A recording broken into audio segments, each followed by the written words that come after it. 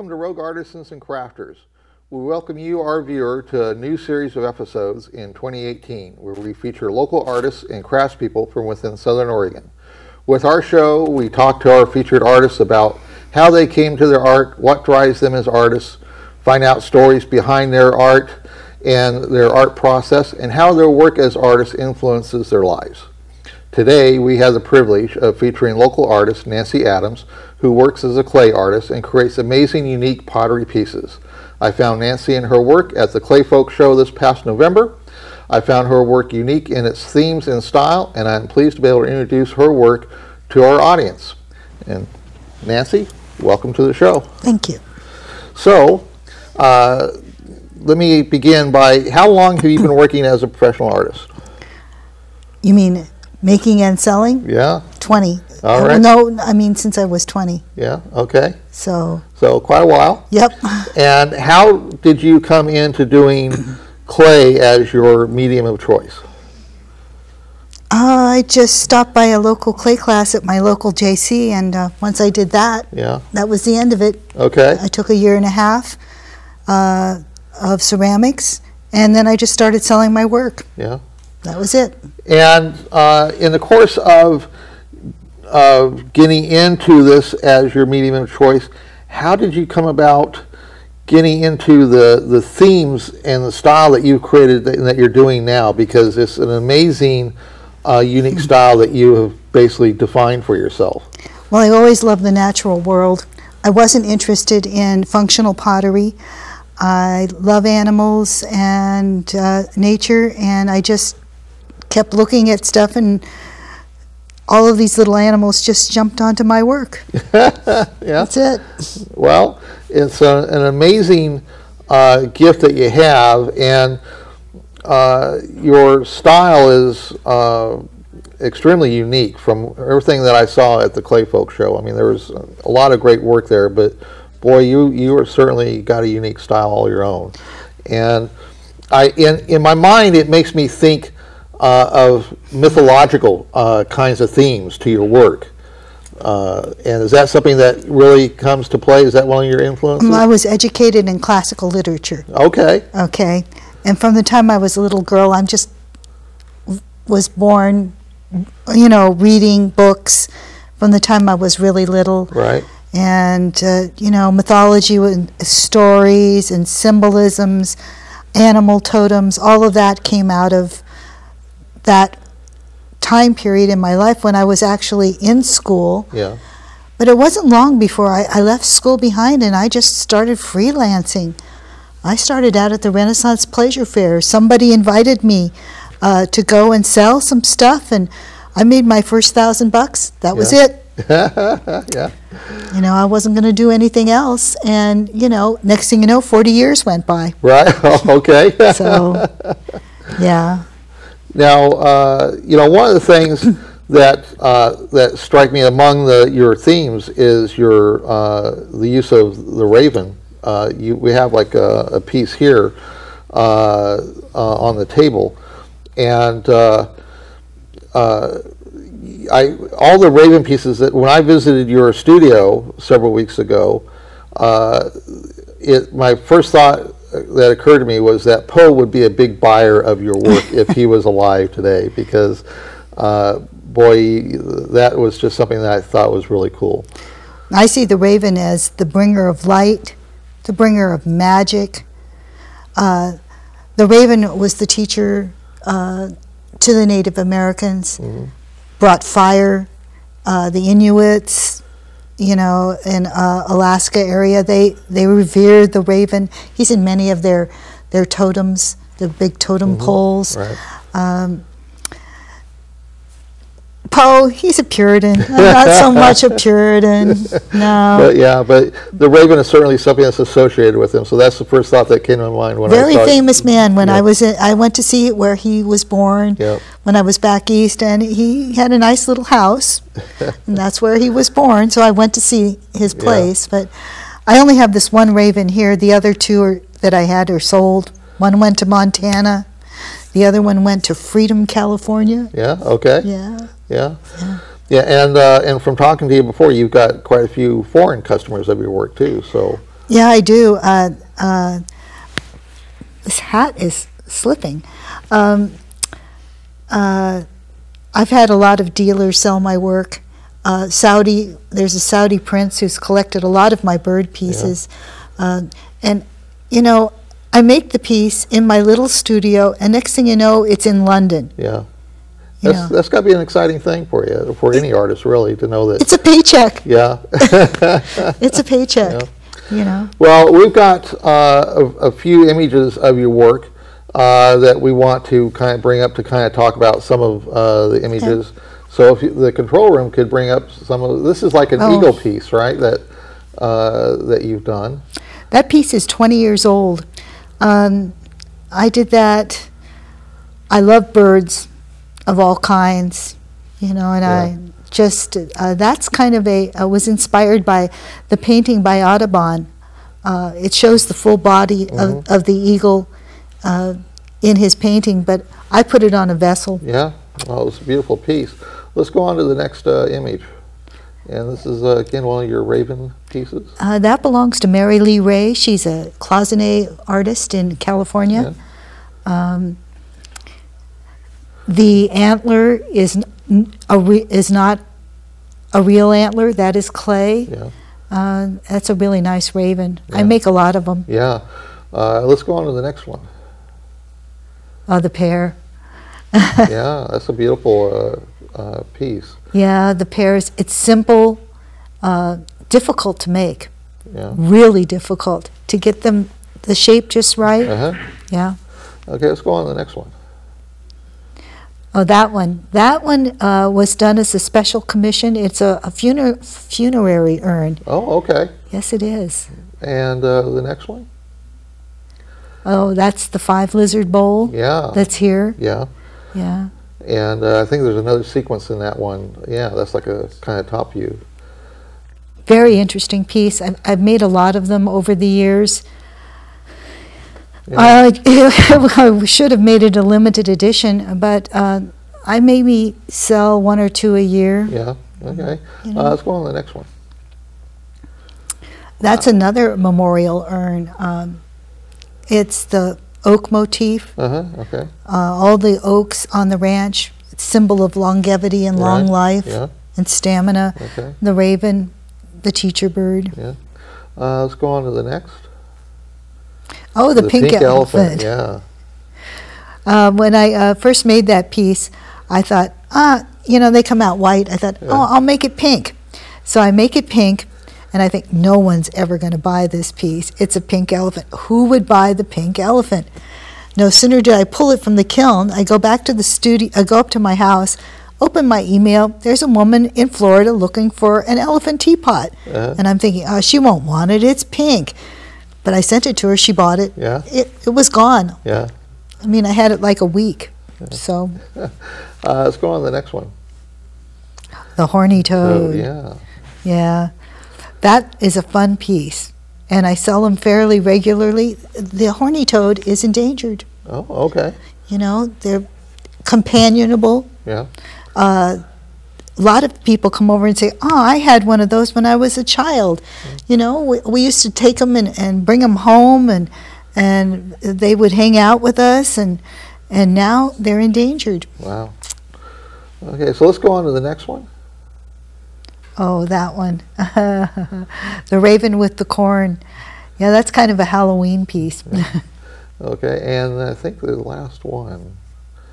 Now that's a view from your uh, from your from your From my porch. porch. Yeah, I was at your uh, I was at your place several weeks ago uh, when I visited your studio and, and visited you, and uh, and that is a good representation. I put that in there because it's a good representation of your the environment in which you work uh, at your place. Yes. because you're deep in the Applegate. Yes. And uh, and just getting up to your studio was a bit of an adventure for me because Yeah. I've never been up that deep into the Applegate before. So. I, I don't like leaving the ranch. I stay at home. well, I don't blame you. You got a beautiful place. so- I stay at home. If I go anywhere, I saddle up and ride out. yeah, there you go. Um, I spend it. Horseback riding is my meditation, and it always has been. So, Now, what's your uh, what's your typical process for designing and creating your pieces? I mean, do you like do a lot of preliminary designing, drawing, or is it just kind of like a free, free thought kind of free creation kind of a process? Um, I just kind of uh, think about things. I wait for things to come to me. I'm patient about that. Yeah. Uh, sometimes I, do, I take a few weeks off and just do other things. And then when I feel like it, I have something ready to happen, I just let it happen. Yeah. Or, like this fish piece here, uh, when I first made it, I thought I was going to do a five lizard bowl. I got it.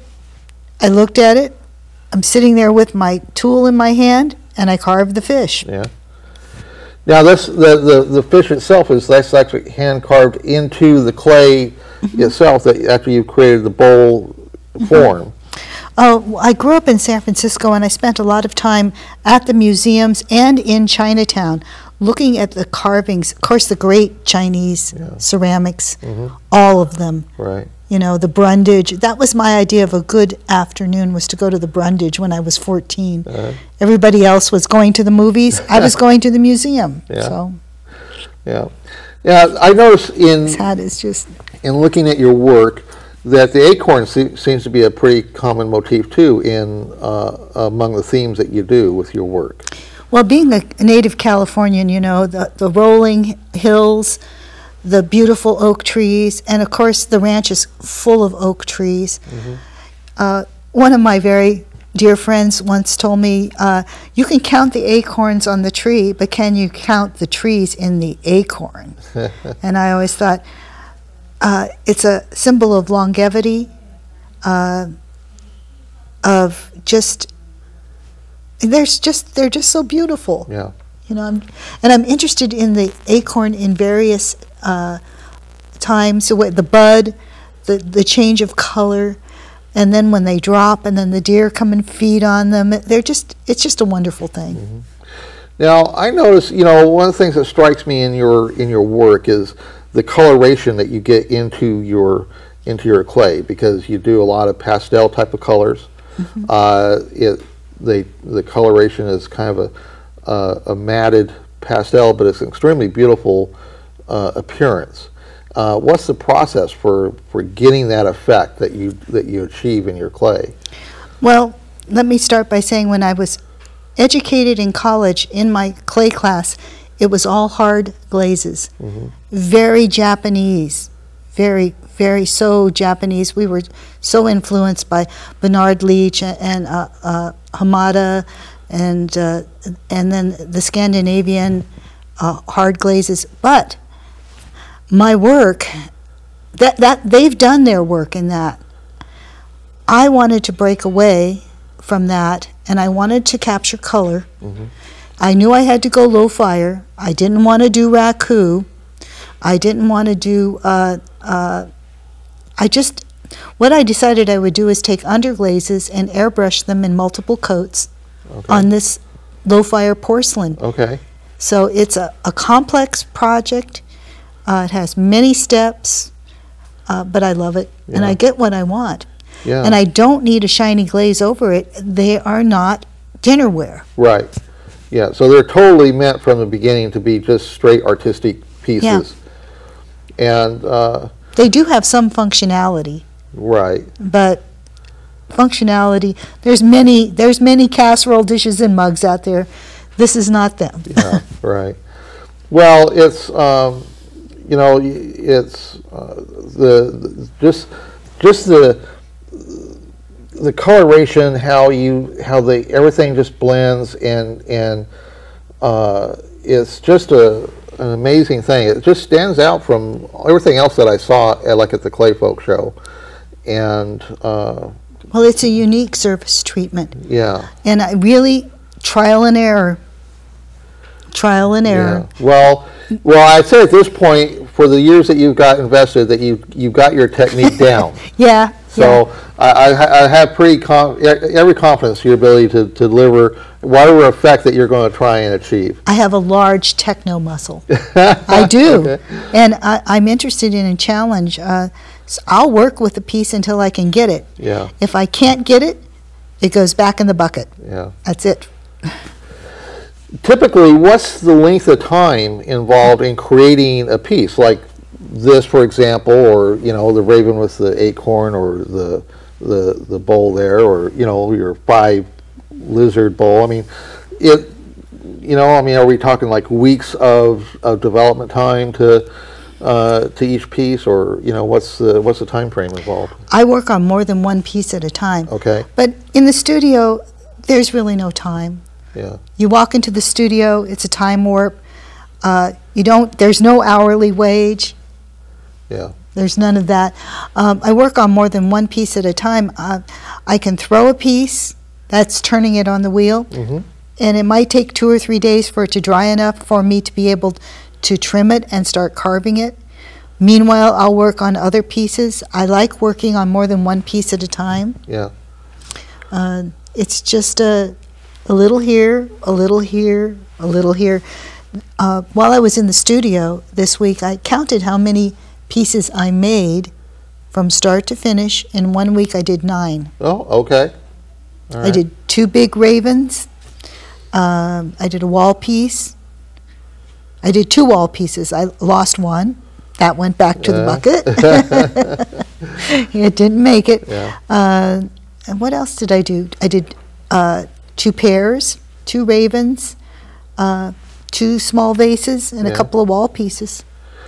Now, how often, you mentioned one didn't make the process. I mean, what percentage of your work that, that you're working on, you know, ex- we experience that where there's, you know, something just isn't right with the clay or whatever happens to, to You mean before it's fired? yeah, Back in there? Not very many. okay. It's in the firing. Yeah, that's, yeah, that's where the danger zone Yeah. is, right? Heat. Yeah, yeah. Yeah. And uh, uh, so are- is it like, you know, 5% uh, or less of that kind of thing happens, or is it just, There are no statistics involved in my Yeah. work. yeah, It's just, uh, I do it, and if it makes it, uh, you know, I get paid by not how much I make, but how well it is right, uh, and how good it is. Yeah. If it's not good, yeah, they make hammers for that. yeah, right, that's right, yeah. Tap 'em. Now, uh, how, where, where can people find your work? Are you, are you, are you, are you got representation in, in any galleries right now? Uh, right now, uh, Scrimshaw Gallery in Sausalito, Mike Attaway, he sold my work for years and years. Uh, online, artfulhome.com, Uh, Okay, they sell a lot of my work. Uh, I sell on Etsy. I sell at local shows. I get emails out of the blue. Just And uh, now, because I met you at the ClayFolk Show, and I from that I assume that you that's not the only show that you go to in the course of a year. Uh, how many shows throughout the year do you travel to? To, to I still keep. I still do my public appearance. My probably my. I'm a longtime member of the uh, San Francisco Potters Association. Okay. Uh, it used to. Well, it, it's now called the Asso- California Association of Clay and Glass. It's acga.net. I'm an emeritus member. That means 25 plus years. Um, it's a carefully screened and juried organization, and we have an annual show at the Palo Alto Cultural Center in July. Wonderful show, great work, good customers. Yeah. You know, there's that one. The other one I really like doing is the American Craft Council in San Francisco. I've done many of their shows. Um, for I did their Baltimore show for 20 plus years. Uh, that was just wild. I've done the Philadelphia Museum of Art show Oh, wow. in the past. Mhm. I've done the Smithsonian. I've done them all. I've done I've done many, many big shows, Yeah. national. First, you have to compete to get in, Right. Exactly. and yeah. then once you get there, you have to get yourself there. Yeah. Don't drive. We used to just have the mover come and take the stuff, deliver it to the booth. I would fly in, set it up, do the show, pack it in. The mover takes it out, delivers it home Yeah. to my house. I get on the airplane and fly home. and that was my life for about 25 or 30 years. Yeah. Then we had the economic downturn and the influx of imports. 2000, 2001, Mhm. right in there. Yeah. 9/11. Yeah. That pretty much ended a lot of stuff. Yeah. So, and then of course the internet. The internet has been has been great because I take a picture. I've had to learn. I photograph. Yeah. I post. I sit back. I wait. I get the email. I pack it up. I ship it, and I get paid. So a big chunk of your of your sales are coming off of the internet. That's then. right. Yeah. Now, in regards to pricing, what's the general typical range of pricing, s- starting with like your smallest pieces, like what we have on the table here, uh, to like the larger pieces that we have on display? What what can people expect to pay for uh, for your different styles Oh, of pieces? th- 150, 120, on up to like 2,000. Right. Okay. And if they buy it from me, they'll get they'll get my price. If they buy it online, Yeah. I get half of what it's listed for online. Uh, So if you want something, call me up. yeah. Call go direct to the artist. Go direct. yeah, yeah. Well, the dealers they, and galleries they gotta have their markup too. They do. They Yeah. do. And, and and maintaining an online gallery, can you imagine? You know, yeah, all the the different people. But all my galleries use do online. Mike Attaway at Scrimshaw, he does Uh-huh. online. yeah.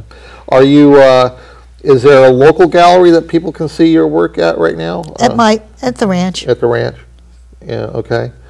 And um, and what's your uh, web address right now?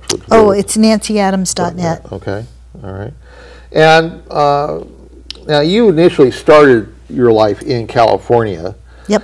Uh, how long ago was it when you when you moved to Southern Oregon? 16 years. Okay. I drove up. I wanted I wanted to get out of the Bay Area. I couldn't stand it any longer. It was costing me too much to board my horses. I thought I got to get a place where I'm at home Yeah. and I've got my horses at home and I've got my studio all together. And it was just the right time. I, I kept I looked all over California. I just nothing was nothing was what I wanted. Right. I drove up to the Applegate. I drove right to up Thompson Creek Road, saw the for sale sign, wrote it down, and that was that. Yeah. Exactly what I wanted. Yeah. I didn't realize what a big deal it was to have a big piece of property, though. you know, I mean, I can remember going to the nursery and, and bringing home a couple of six packs, and I realized I needed to bring cases of plants. And I put all that stuff in the ground, and then, of course, the deer ate Yeah. them. And anyway. Yeah. Well, there there are uh, there are definitely issues involving uh, dealing with the large properties. So yeah, yeah. But it's it, you know having visited your place several weeks ago. I mean, it's, you've got a beautiful location that you have to find inspiration from all the nature that is around you. I would imagine. I do a lot of just watching the sky and, and riding out on horseback. I just empty my mind Yeah. and go. Yeah. It's fun. Yeah, if I was uh, if I was in in uh, the position too, I would I would have love to have a place like what you got because it's a it's a beautiful uh, place where you're at. It's not everybody can do it. Yeah, yeah. I would. Uh, and there was a time in my life when that was what I really thought would be a really wonderful thing, but then I had a couple of heart attacks, so that kind of scares me getting out It that keeps far. me from having a heart attack. yeah, I suppose so. Yeah. Um, it's, uh, we talked about a little bit about uh, your uh, mythology in your, in, as among your inspiration. Um, are there specific um, areas of mythology? Because a little bit of like what I've seen at your studio and here, there's I see a little bit of tinge of like Chinese kind of art elements that come through in some of your work. So is like Chinese mythology been something too that is Some of the influence? greatest artists in the world are in Japan. Yeah. Best porcelain, most beautiful bronzes. Same thing with Japan. Uh, because I grew up in San Francisco, uh, diversity, Yeah. lots of diversity. Also, Roseville pottery, American pottery. Uh, I used to spend a lot of time just wandering around at people's houses looking at what they had. Right. You know, people collected Roseville for years, Yeah. and they still do. Yeah. These beautiful pastel pieces, that's Roseville. Yeah, yeah. Well, Nancy, it's been really great having you come on to the show, and uh, to be able to talk about your work and your life. Uh, you've got really incredible uh, work that is just really outstanding, and I'm excited to to see it. I'm excited to have you uh, on the show and to talk about it. So I thank you for coming on. Uh, thank you. So, uh, with that, we uh, have reached the end of our show, Rogue Artisans and Crafters, and we want to thank you at home for joining us and learning about our featured artist, Nancy Adams. We thank Nancy for being our featured artist and appearing on our show to discuss her life and work. We also want to thank our crew who have made it possible to put this program together and to thank RVTV for their wonderful studio facility, which allows us to produce shows such as this one. If you'd like to become a studio producer and create your own public access show, you can contact RVTV to learn how. You can watch the show on Tuesday evenings at 8 p.m. and Thursday evenings at 11:30 p.m. on Channel 15 of the Ashland Home Network and in the rest of Southern Oregon via Charter Cable on Channel 182. You can also find all episodes of Rogue Artisans and Crafters at archive.org. You can also visit RVTV online at rvtv.sou.edu to find live streaming of all RVTV shows. Please make sure and check out Nancy Adams' website where you can get more information about her art. I'm your host, David Glamour Dave Nienow, and we will see you next time. And that's the end of that for, for this show. Yeah.